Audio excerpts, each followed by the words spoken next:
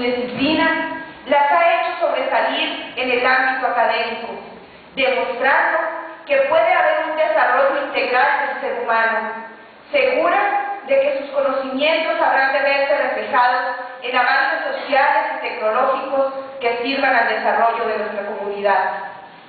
Reconocemos también la trayectoria de mujeres emprendedoras y productivas que nos han dejado una gran lección, el cómo una semilla puede dar frutos para muchas y muchos ciudadanos.